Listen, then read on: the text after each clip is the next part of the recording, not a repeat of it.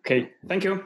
Thank you very much. Uh, thanks, IPAM, for organizing such an interesting conference in such, in particular, in such a time. And thanks also for the invitation so that I have the opportunity to uh, share with you some of my results. So the title of this is um, Coarsening Rates for Non-Local Cahn-Hilliard Equation. So it is a joint work with uh, uh, Yuan Gao and Tao Luo. Okay. So um, the um, the purpose of this work, I mean, it is sort of a stem from um, uh, uh, mathematical curiosity. Uh, of course, uh, this coarsening rates for various pattern uh, pattern uh, systems. There are a lot of results, and then also there's many um, activities for non-local equations. So we are just curious whether this um, many of the techniques for local equation whether can be extended to a non-local case. And then at the end I will mention some open problems also. Okay, so now as a motivation, so uh, okay, as a motivation, we want to study this kind of uh, pattern formations. So uh, of course, it happens everywhere, almost in any many uh, physical systems and biological systems. But just to be spe- just to be specific, so um, for this kind of uh, pat- patterns, uh, you see that there are lots of microstructures, and these microstructures will uh, evolve in time. And then again, to be specific, the system that I'm looking at mostly they are, uh, I mean, they are driven by uh, energy, and energy is concentrated on the boundary. So these are uh, interface-driven systems. Okay, so then of course, whenever you have a boundary, then you have energy so if it is energy driven, then the system will try to reduce the energy, and hence uh, the, the, the one way to reduce the energy is to reduce the boundary area or boundary volume, depending on what dimensions. Okay, so so uh, so given this, uh, then as time goes by, the length scale will try to increase, and if uh, upon increase, then the total surface energy per unit volume or per unit area will will try to decrease in time.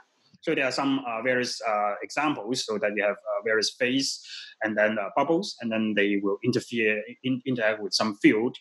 And then this is some um, mixing of uh, different fluids. And then this is uh, some grain boundaries or volumized cell evolutions. Okay, so then so to capture these coarsening rates, what do I mean? The coarsening rates means that so some, there is a typical length scale and it's not uh, so far uh, it's not uh, very precisely defined. When you see it you know what a link scale means. So since the system will try to evolve such that the link scale will try to increase so very often the link scale by some self-similarity structures of the equations the link scale will increase like t to the alpha. And we want to first of all characterize this alpha which very often by some heuristic argument you can get it by uh, just looking at the equation by looking for self-similarity solutions but then uh, we also want to prove that this is the case. Okay, so this is the, the motivation. And, and uh, of course, I'm not going to uh, uh, analyze all kinds of pattern formation. So to be specific, uh, it's a more of a, this a phase transition, uh, phase transition systems. And you have a two, the system have two phases, or it can be multiple phases, but just for two for now. So there is already there is a very common model uh, try to uh, analyze this kind of phase transition systems, a common model is make use of this Allen-Cahn function. And it is given by the following form. So there is a Dirichlet norm, try to regularize the derivative of the function. And then there's a non-local term, try to uh, capture or try to uh, um, uh, constrain the U to be some sets. And then there's a parameter. Okay, so then the the key feature of this is that uh, there's a parameter which is uh, very, very small, so that this becomes a singularly perturbed problem. And then the, this W uh, is uh, like a double well potential. It's a 1 minus u square whole thing square. So then you have two minimum. One is minus 1 and 1. So if you want to minimize or at a consider a low energy state, because uh, the minimum of W is a minus 1 and 1, so the U will very much like to converge to minus 1 and 1 uh, but with uh, because of this regularization, there's some smooth transition. Okay. So then heuristically, this is just uh, uh, the low energy state will be the, uh, the whole domain will be partitioned into domains with uh, state one and minus one and make a rapid but smooth transitions. So if many, as many of you might have recalled um, in day one, of this conference, of this workshop, um, Professor Jessica Lin already have given a very good Uh, introduction on this Allen-Cahn function and some uh, further results. So I will just be brief and then set up the set up the notation uh, for useful for, for my for my talk. Okay, so then this is a singularly perturbed problem. And uh, as epsilon goes to zero, then the, what's the limiting description? So the, in the limit, so there's a notion called gamma convergence. Uh, so here I'm not going to get into the details. So it's just a, a notion of convergence of the energy to the limit. There's a limiting description. So since all the energy are concentrated on the boundary, so it's a natural that uh, the, the limiting description of this energy will converge to the perimeter. Okay, and this has been proved uh, in various versions uh, by Modica, Mortola, Peter Sternberg, and uh, some other, uh, with, even with convergence rates. So, um, so in this framework. So this is the uh, static static case, just looking at energetic description. Okay, so now here, uh, then in the limit, you completely, because of this constraint W, you completely takes value one and minus one, but make a transition, and then the boundary completely uh, the energy completely is uh, supported on the boundary. So that's uh, the um, energetic description. But it's even more interesting, just given this functional, then you can study all kinds of dynamics with appropriate uh, modeling. So the dynamics are with respect to this Allen-Cahn functional. So by endowing the system, the underlying state space, with different uh, gradient flow, you can get various kinds of uh, interesting geometric and uh, more physical uh, uh, model. So if you look at the L2 gradient, L2 gradient, then that's the classical Allen-Cahn. Then as epsilon goes to zero, uh, then um, it will converge to motion by mean curvature. Again, uh, I'm sorry that I didn't put a very comprehensive reference uh, because these are all more or less classical results. And then, so yeah, and then there's a, a whole sequence of references available yeah, if needed. So the conversion motion by mean curvature, there's a boundary that the normal velocity equals to the uh, mean curvature. And if you endow with the h minus one gradient flow, uh, and uh, written in the equation form, so this is the Laplacian of the first variation of the energy. So this is uh, what I call the Cahn-Hilliard equation. Then in the limit, as epsilon goes to zero, this will converge to the Mullins-Sekerka model. Okay. So the, it's a it's a uh, non-local. I mean, the equations are local, but it's a couple with fields. So then in, there's a domain. There's an interior and exterior. The interior of the Laplace equation. There's a potential function solve the Laplace equation inside and outside. And then uh, at the boundary, it equals to the mean curvature. So this is called sort of like a undercooling effect, surface tension effect. And then the normal velocity is given by this conservation law. So the Mullins-Sekerka. Then you can also uh, do uh, another version, a degenerate version uh, of this um, uh, h minus 1 with a degenerate mobility. And this m of u is not uniformly positive, but equals to 0 uh, when you reach uh, 1 and minus 1. of course, it's not any function. There's some appropriate choice, and this will converge to a surface diffusion. So in the limit, it has a boundary and the, uh, the normal, so this is a completely local geometric motion. Uh, the normal velocity is the minus Laplacian of mean curvature. I mean, this is a fourth order geometric flow, and many things are not clear, and there are many, many interesting questions to be answered. So, but uh, here, these are the classical uh, quick overview of uh, local description, description of local dynamics that with a different uh, inner product, you can get different geometric uh, evolutions. Okay, so then um, now, um, okay, so yeah, as a uh, just to go back to the overview, what we need to do. So if we look at the pattern formations, um, then depending on the dynamics, the length scale will increase, uh, will evolve in time, will increase in time, and we want to look at how does it increase. So, and it turns out for Cahn-Hilliard equation, uh, this is diffuse interface. And then for the sharp interface, uh, Mullins-Sekerka, the length scale will increase like t to the one third. And for degenerate Cahn-Hilliard, uh, in the sharp interface is uh, uh, surface diffusion, it will increase like t to the one quarter. And these exponents are sharp because uh, we can find uh, a self-similarity solution for these equations. And or the equation is invariant under this kind of a scaling behavior. Okay, and then this uh, so uh, these uh, are actually made rigorous uh, in general form by Kohn Otto. This this work in the early um, 21st century, and which will the strategy will follow quite closely. So they do give a weak version of this statement: the length scale increase with certain parameter. But it turns out, I mean, these these are highly nonlinear equations. It's very hard to point to give a point-wise estimate for this length scale uh, where the rate increase. So what they do is uh, to express this information using this energy. So they, what they can show, because energy is uh, uh, in this system, the energy is captured by the uh, surface area, and the surface area is related to the length scale. And so equivalent statement of this uh, length scale increase is the same as energy bounded from below. Okay, so later on, I will certainly be more precise what they actually prove and their strategy. Okay.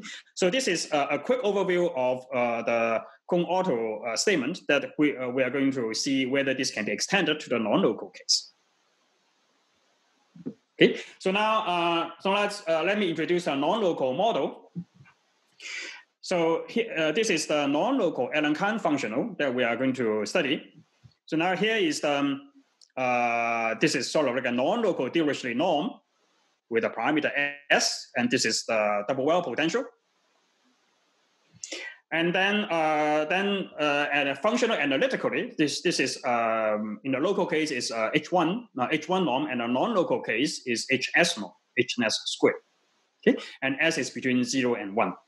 And then if you look at this singular singular kernel, uh, the behavior is that when s is a small, close to zero, then the, it's uh, it's less singular, but it's more non-local in large distance. And when s is close to one, then it's a more singular but more local uh, at large. Distance. I mean, it's more localized. Okay, so there is a sort of a dichotomy. And then uh, similar to the fact that the uh, Dirichlet functional um, give you a Laplacian, and then this HS norm, the first variation, give you a fractional Laplacian, okay, given by this uh, in, by this expression. And then the dichotomy between small s and big S is exactly uh, captured by this value one half. And then when s is less than one half, one half, this functional, this integral makes sense for any u. When s is bigger than one half, then this only makes sense in the principal value uh, case. Okay. And then just uh, make sure, uh, okay, uh, this is just as a side remark. Uh, later on, when we do, when I try to do estimate energy and make sure the energy is finite, uh, we look at the periodic domain and to capture the non-local uh, interaction in periodic domain, then the integral we have is uh, we, we just for simplicity we take the integral over the torus for x variable and y variable is the whole domain. But this is not uh, this is not the only way. You can always do a subtraction of n state at infinity. But this is we found it convenient to to for our analysis so that we don't need to worry about the boundary conditions. Okay, so this is the non-local Allen-Cahn function. And as I say, uh, recently there is a wide range of activities for non-local equations. And so I will just point out two results that is more relevant to our work. So this is a non-local minimal surface, first introduced by Caffarelli, uh, uh, uh, and Savin. Uh, 2010, they introduced this uh, notion of a non-local minimal surface. So there's a characteristic set, there's a set, there's a boundary, and u is the characteristic uh, function of this uh, set, then they define the surface energy as this hs norm.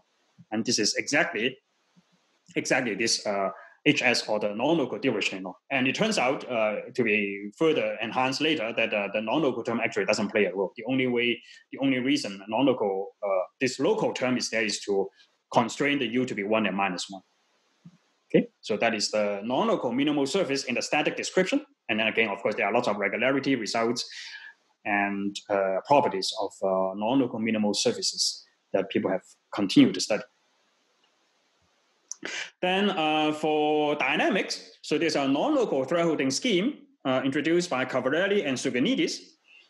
That uh, so thresholding scheme is a very simple uh, algorithm to study geometric evolutions. So the algorithm is very simple. You take a set consider its characteristic functions, uh, one inside and uh, minus one outside.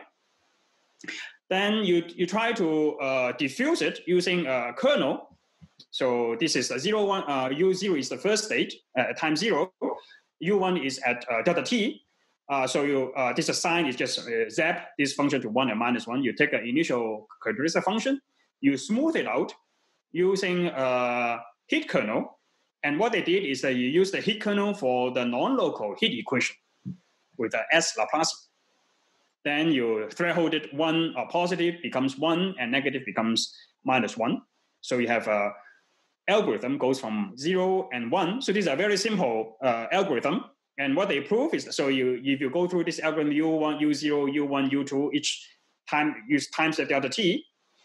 And as uh, delta t goes to zero, and uh, what they can show is that as s between zero and one half, it converges to non-local mean curvature flow. And when s is bigger than one half, converges to local mean curvature flow. So among all these uh, results uh, on non-local equation, I think these two uh, results, uh, I mean, capture the geometrical flavor of these uh, non-local operators. And then we, are, we will take it as a starting point to study the uh, non-local Cahn-Hilliard equations. Okay, so then just to understand more about these properties of the non-local functional, so it is a gamma convergence of this non-local uh, uh, functional uh, study by Savin Valdinoci. So consider suitably rescaled uh, non-local equation, non-local Allen-Cahn functional, depending on the value of S, okay, it will gamma converge. When S is less than one half, it will gamma converge to the fractional uh, perimeter. And then for S bigger than one half, you converge to the classical uh, perimeter. The classical perimeter is just uh, the area. I mean, if you assume everything is nice and smooth, and then a more uh, functional analytical way to describe it, this is just the BV norm of, of the function. And now U is uh, goes from minus one to one. Okay. So let me point out uh, just a quick remark, and the proof actually uh, it turns out uh, the proof of the class uh, it's harder to prove the classical convergence in the classical to the classical case, but it's much easier to, to prove in the, the gamma convergence when s is less than one half. And when s is less than one half, the limit is just exactly the hs uh, norm. It's just uh, the first term, and the second term doesn't play a role. And then the, as I say, the second term, the only function it does is just to uh, constrain the function with, because of the 1 over epsilon, constrain the function to 1 and minus 1. Okay? And this is very easy to prove uh, purely, uh, uh, I guess, purely because of the fact that uh, uh, piecewise continuous function belongs to Hs when S is less than 1 half. So the, the proof is just a couple of lines. And then for, but then for the, the on the other hand, the convergence to a classical case is much harder. Okay, so that's an energetic uh, description. So uh, okay, so there's a few more um, just uh, as a reminder. So this uh, HS, uh, this is the fractional perimeter, is exactly the HS norm. And then there's a mean curvature. S mean curvature is given by the you take the first variation, and it's, it is very easy. Just uh, just like the Laplacian fractional Laplacian for uh, um, piecewise continuous functions. Okay, and then uh, you can also easily see there's some scaling uh, properties of these parameters and mean curvature. The perimeter S perimeter of the ball scales out to the n minus 2s, and mean curvature, S mean curvature scaled 1 over S uh, out to the 2s. So this will come in handy when we do some scaling argument. Okay, so now these are energetic, uh, energetic description. And so now for um, for dynamics, so this is uh, what uh, this is our starting point. So we look at the non-local Cahn-Hilliard equations, and the way this is our our starting. There are many, of course, there are many ways you can introduce non-local equations, and the way we our starting point is more or less follow this uh, classic uh, physical law, Fick's law.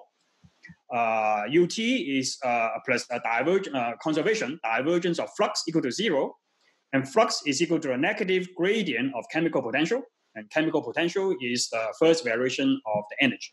So this is how we um, we this is our starting point. We start from this Fick's law and uh, fill in the gaps. Then formally, then this uh, will converge uh, to the non-local Mullins-Sekerka model.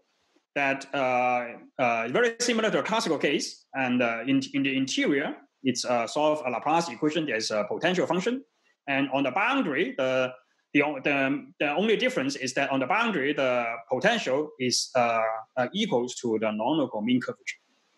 Okay, and then there's uh, the normal velocity is given by this uh, uh, conservation law. Okay, so again, uh, let me point out this description is only formal, and then there's not yet um, rigorous proof whether eh, I mean rigorous proof this is true, but of course we believe this is true, and all the results that we know of, and including our results, uh, is sort of like a consistency check that uh, this is the right uh, limiting description. But uh, rigorously, this is not um, uh, not proved yet uh, whether this how to com- the convergence. So at the end, I will mention some plausible approach and plausible results that that leads to this direction. But, but so this is just an analogy that uh, uh, we can study non-local uh, Cahn-Hilliard equations or non-local Mullins-Sekerka models. So this is not the only way to write down non-local so-called non-local Cahn-Hilliard. And then there's another version um, uh, given by uh, Kangpeng Zhu in his thesis, a student of Bob Kohn.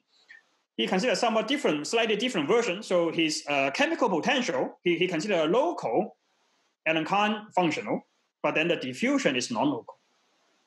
Okay, so uh, there, there's a um, sim, uh, simpler reason for this, and then there's uh, in, in their analysis uh, because of the local Allen-Cahn equations, so they have lots of uh, uh, analysis from the local case, like Modica, Mortola tricks they can use, but then their diffusion is more complicated.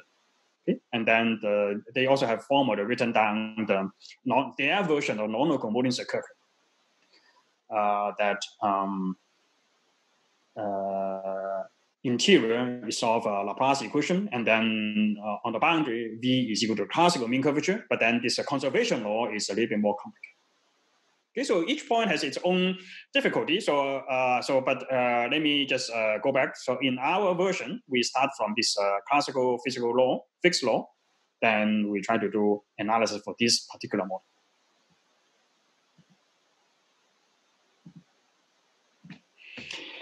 Okay, so then just uh, to make sure that we get a result that is sharp or that is uh, physically reasonable, then if you look at this uh, uh non-local Mullins-Sekerka model, that uh, Laplace inside and outside, and then uh, this undercooling with this conservation law, and it's very easy to see that this equation is invariant under the following change of space and time scales. Change the space by lambda and t by lambda to 2s plus 2, so this naturally leads to the fact that length scale will increase like t to the 1 over 2s plus 2. So this is uh, sort of like the, uh, if you get the exponent, uh, it's the same as this, and then we expect that that is a sharp exponent. Okay, so then that is the quick overview of the model, and then what exponent, uh, uh, okay, so this is only true for when s is less than one half. When s is bigger than one half, then we get a classical case, that, that's uh, one third. So um, then, so what is the uh, technical strategy? So as I mentioned, we uh, by and large follow the strategy of uh, and Otto's approach. I'm going to explain a little bit their approach and uh, be more precise. Then, uh, as I say, we are just uh, out of mathematical curiosity, curiosity whether this approach will work for the non-local case. So first of all, um, their approach, uh, there are a couple of ingredient, key ingredients. The first ingredient is the length scale of the pattern. So um, it's very hard to give a very precise length scale. It's a very weak notion. So uh, then they introduce this uh, negative norm, negative uh, Laplace, uh, um, gradient norm uh, defined by duality. Okay? And this is sort of like a W1 infinity, the dual of W1 infinity.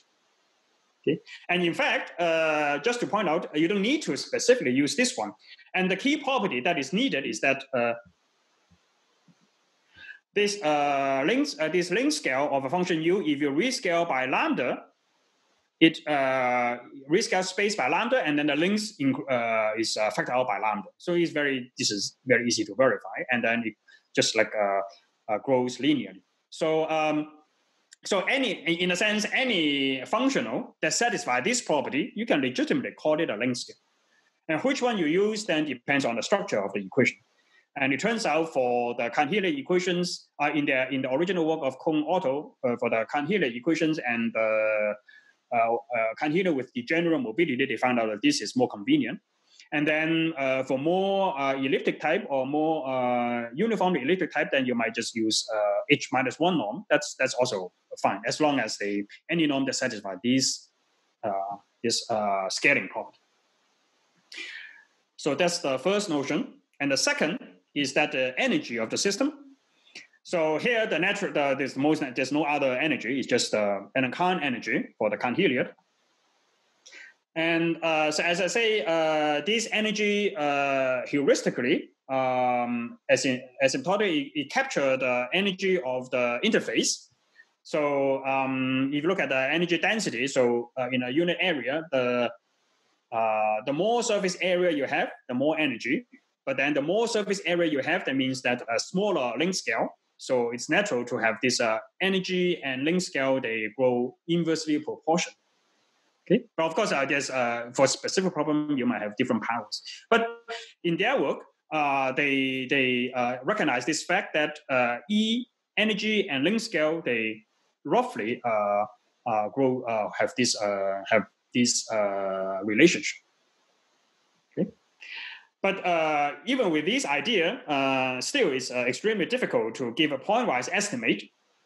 So uh, okay, so uh, so uh, let me just point. When length scale increases t to the one third, then it's equivalent to energy decays like t to the minus one third. Okay, so that's sort of like a heuristic uh, motivation for their uh, uh, or driving their their approach. Um, then um, yeah, but as, as I say, it's very for these kind of nonlinear systems, it's extremely hard to give a point-wise estimate. So what they have, Kohn Otto's approach is that they have a weak notion, a weak lower bound version of this uh, uh, energy uh, co- uh, coarsening rate. So what they have is that the time integral or time average of energy square is bounded from below by the time uh, integral of t to the minus one third square. So that's that's their rigorous version.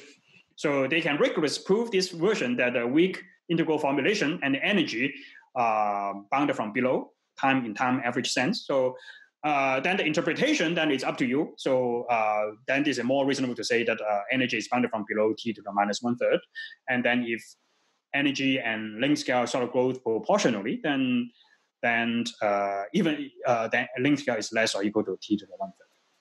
Okay, so uh, so but in their work, the rigorous statement is this integral estimate. Okay, so in a sense, what they show is that the energy will decay, will goes to zero, but then they, they cannot decay too fast. And then there is a sharp bound that they have. Okay, and just uh, another remark is that this is a lower bound, of course, for calculus of variation and, and dynamics. People would like to have a sharp uh, matching upper bound and lower bound. And in general, this approach uh, is unlikely to, uh, yeah, for obvious reason that you cannot get upper bound for energy. You cannot show the upper bound of energy will decay because uh, this energy landscape is extremely complicated. You can easily construct uh, stationary solutions, critical points of the energy, which are extremely unstable, but mathematically, mathematically they exist. So you cannot, uh, you cannot easily have uh, upper bound uh, for for energy decay uh, because of existence of a critical point. Okay, but uh, yeah, I mean you can think about adding noise, but that's a different story. Okay, so then uh, at, uh, so there's a, a, heuristic description, and at a technical level, so they their work in, involve three lemmas. One is uh, interpolation inequality. So instead of E is equal to one over L, what they can show is that E times L is bounded from below. Okay. The second is a dissipation inequality that relates the uh, time dynamics of length scale is bounded by the negative of the time uh, time derivative of energy, so dissipation. And then, and then with one and two, uh, that's basically the core of their analysis. And of course, there's a next lemma, uh, next uh, technical uh, ODE lemma. So with one and two, then they can lead to this inequality. So this this is a uh, purely from ODE, and you can just given one and two lead, to this. Okay. Uh, before I continue, so let me just say um, uh, some other related work using this approach. Um, so Kohn Otto originally proved this for the Cahn-Hilliard and also the degenerate Cahn-Hilliard for surface diffusion. Then uh, Kohn and Yan, they also extend this, uh, consider this uh, epitaxial growth and multi-component system. And Brenier Otto Seis, and later on with uh, they also uh, analyze uh, demixing uh, of a binary viscous fluid. Then Elsey and Slepchev um, analyze the mean curvature flow of a Voronoi diagram. And then, of course, for mean curvature flow, the exponent is t to the one half. Okay? So these are uh, approaches, uh, results that uh, sort of make use of uh, this Kohn Otto approach, which is quite quite uh, robust. So that's why we want to see whether we can do it for the non-local case. And so the to everything we feel after we look into this approach, the everything uh, we feel is captured or is uh, hinged upon this uh, inter- interpolation inequality. And in the local case, uh, Kohn Otto, what they can prove is that, uh, so this is the L, the uh, W1 infinity dual norm, gradient minus one norm, and then this is the energy. And what they can show is uh, big or equal to one. So that's L times E big or equal to one. But at a formal level, uh, there's a much easier version. And then uh, if you just replace U by uh, sets of finite perimeter or characteristic function of sets of finite perimeter, uh, it takes on value of one minus one and one. So essentially, uh, the following is a simpler version. The L times the perimeter big or equal to integral of U. Okay, because U is a one or minus one, so this is basically one. Okay, so um, this version is easier, is, is much easier uh, to understand in the sense that if we set this uh, minus one u to be a function, suppose if we let this to be minus one u to e is, is actually a function, then if by just counting the number of derivative, you get this, uh, this is sort of equivalent to this uh, inequality. This is exactly one special case of the Gagliardo-Nirenberg inequality. But of course, uh, we couldn't, uh, or Kohn Otto uh, doesn't really use this uh, version because uh, this this function might not uh, is not well defined. But but in spirit, it's similar to this classical result, the special case of the classical result. Okay, so so we, we just want to see how to so the to see whether this works for the non-local case. Uh, then this uh, interpolation inequality is sort of the key. Okay, so what we have is that uh, for this uh, rates for non-local Cahn-Hilliard equation that I have written down before. So for S between zero and one half, okay, then this non-local energy will have a similar result that uh, time average integral, average integral of the energy is bounded from below by the time average of this uh, t to the minus s, uh, s plus one. And this is true for S between zero and one half. Okay, and then for s is bigger than one half, uh, then uh, we have a similar result. But I want to point out that uh, here at this stage, technically we are not able to prove the same inequality with a non-local operant, non-local energy function. So this is purely for technical reason. And so sometimes uh, uh, local case is easier, but in this case, uh, the non-local estimate, even though when S is bigger than one half, we expect it to resemble very much like the classical case strictly speaking, we are not able to prove the uh, non-local version when E is the non-local Allen-Cahn function. Okay. Just to be specific, so then uh, the interpolation inequality in a non-local case, what we have is that uh, energy when S is less than one half, we have uh, uh, energy times L to the power 2S is bounded from uh, is bigger than one Okay, and then when s is bigger than one half, so as I say, we, we are not able to do it for the non-local case, so we just uh, motivate by the classical theory. We expect that it converges to a sharp uh, classical interface limit, so we just use this as the BV norm. Okay, so then BV times length scale is bounded uh, from below. As I mentioned, this is a resemble the uh, classical Nirenberg uh, uh, Gagliardo result. Okay, so then this is the uh, main result with this exponent. Okay, so now uh, here's the coarsening rate for energy. uh, when s is between one half and one, we sort of we get the exponent one third, which is the same as the classical Mullins-Sekerka, which we expect. And then for s between zero and one half, then we get this energy exponent, which as uh, the energy decays uh, with exponent t to the minus s over s plus one. And then uh, going back to the length scale, uh, so this length E, um, uh, this by energy uh, interpolation inequality, the length scale uh, heuristically decays like uh, increases like t to the power one over two s plus one. Okay, and then here is this sort of like a curve for the exp- crossing rate for for length scale. Okay? And again, this is a sharp result because we know, as I uh, uh, as I've explained before, there is a self-similarity, self-similar solution, or the equation is uh, invariant under uh, this uh, kind of scaling exponent. So this is the uh, so we, we expect that this is the correct result and everything he points to the right direction as I mentioned, even though not all the technical details, technical existence and well-posed result are resolved. Okay, so given the time, so maybe as I since I mentioned that uh, the interpolation inequality is the key, so maybe I will just uh, even though uh, we won't be able to follow all the steps, so maybe just some um, uh, key steps uh, outline how to prove the interpolation inequality. So how to prove uh, this energy times length scale with appropriate power power bounded from below. So um, then um, uh, one minus, uh, so given a u uh, takes, uh, is a characteristic function, and you uh, smooth it out by some convolution operator. So with a compact support with a convolution function with a diameter epsilon, with a ball of epsilon.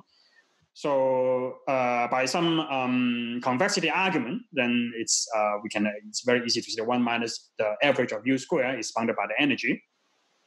Okay, and then the key is how to estimate this uh, this integral of u squared, average of integral of u squared, and you can split up as uh, u epsilon square and uh, u minus u epsilon square, and u is a discontinuous function, and if you smooth it out by epsilon, then it is um, uh, it's uh, natural to expect that this kind of result, one over epsilon, and then there's a length scale.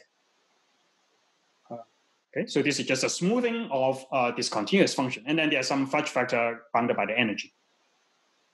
So the key is how to analyze the difference between U and its smoothed version.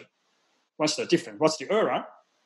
And this, uh, it does require some calculus. And uh, we can write down this uh, U minus U epsilon. We write it as um, this um, uh, convolution kernel and then look at there's average outside, but there's no average inside. So then use uh, uh, the Cauchy-Schwarz inequality, we can lead to uh, a sequence of identity or inequality.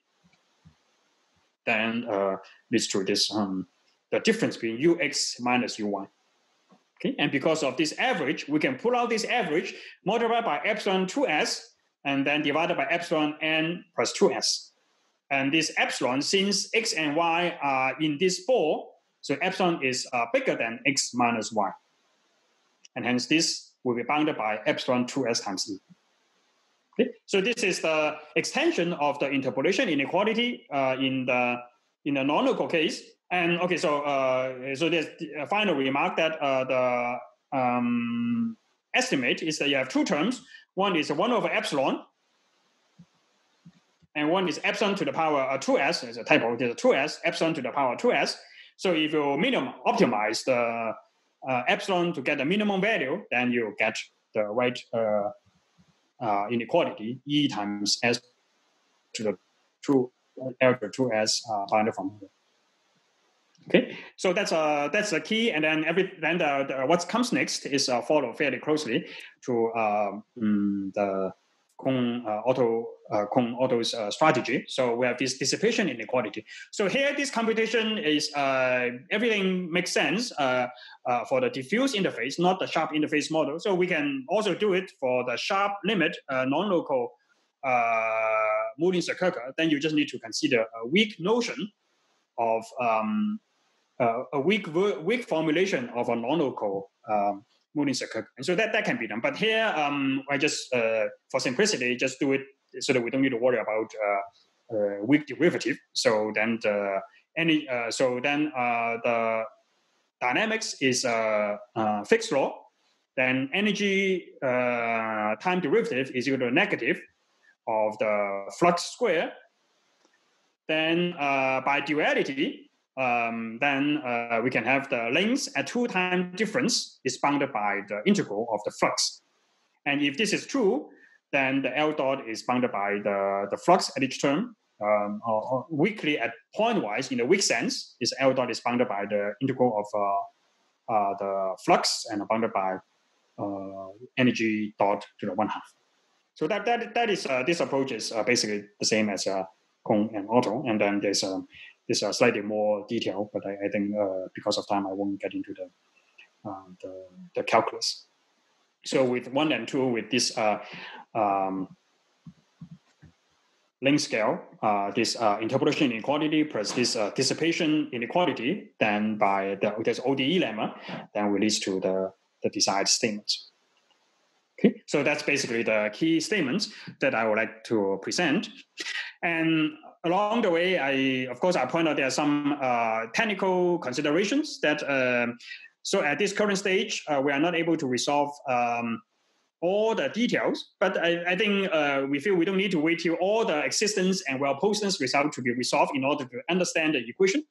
So there are some um, uh, technical considerations. And then if we really want to close the loop, then all these uh, technical statements need to be proved.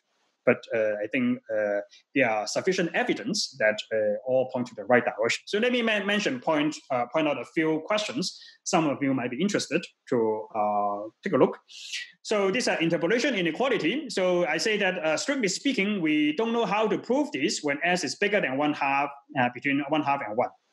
So uh, this is uh, purely uh, based on technical difficulty, and even though it's uh, um, more local when S is big, um, but it's more singular. So uh, and then we don't have the classical Modica-Mortola um, results for the non-local uh, Allen-Cahn function.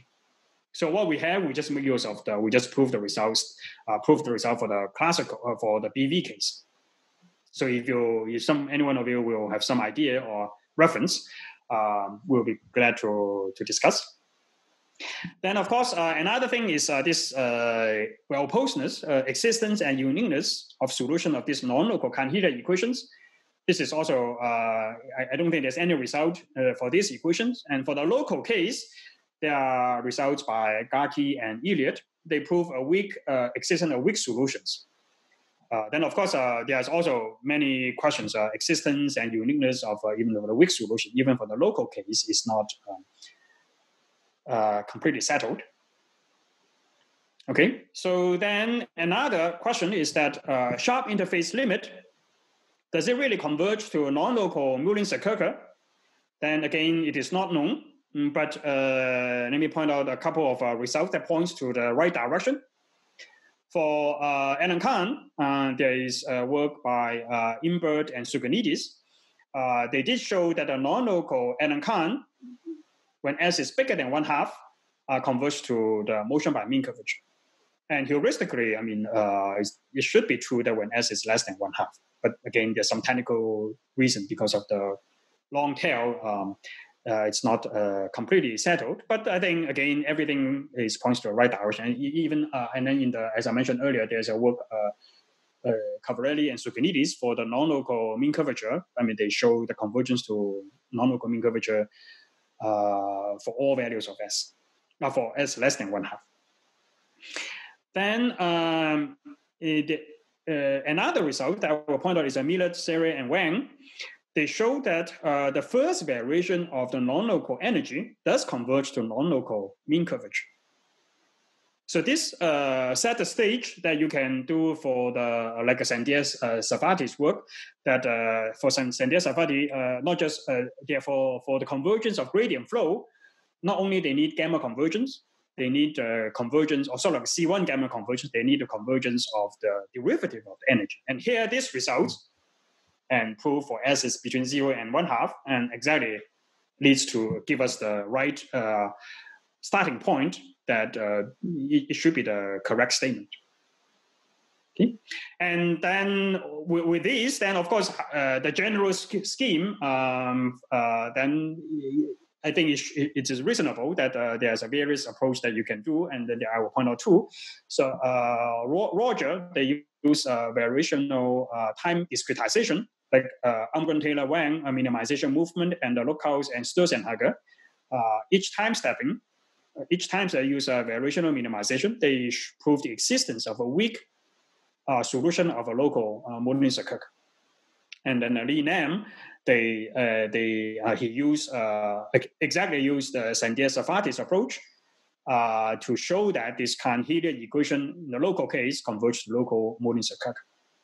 Uh, uh, so Sandier Serfaty is the approach is more or less as as as a strategy to prove to use this strategy. You need to prove two a couple among two two estimates, and then Le Nam does succeed to improving those estimates. And but he does require quite a bit of regularity. For example, the, the limit is uh, C3 and so forth. Okay, but uh, as I point out, uh, even though these all these issues are not completely resolved at this stage, but they all point to the right direction, and uh, and our result is also is as a self consistency check that uh, it, it is the correct statement. Okay, so to close, uh, let me go back to the first picture um, I mean, it's very interesting to look at how pictures evolve and how the microstructures evolve. And this uh, length scale is just a one scalar function, uh, one number. And it's nice to know that it grows correctly and we can prove it or people can prove it in various settings. But uh, it's, it would be more interesting to look at actual the spatial description or spatial distribution of the pattern. So um, is it possible to have uh, actually to prove the self-similarity structure of the actual spatial pattern? So that's uh, I mean, it seems uh, uh, it's also quite um, not so easy. I mean, there are various results uh, um, when people study this kind of uh, pattern, uh, energy-driven pattern formation. What they can show that the energy density around the whole space more or less remains constant. So the length scale remains uh, sort of like a, a constant across different points. So, but uh, if uh, but I'm just wondering if uh, if the length scale initially is has a vastly different length scale in different space and time, whether they will equilibrate, and how fast is the equilibrate. So these kind of questions will poke more into the spatial pattern, not just as a number, given not just as a number described by the. Um, okay, so uh, I hope this uh, this will give you uh, some idea of uh, of this uh, area, and then uh, I'm also happy to discuss. okay, so thank you for your attention, and thanks for IPAM for the organization and invitation. Okay, so thanks.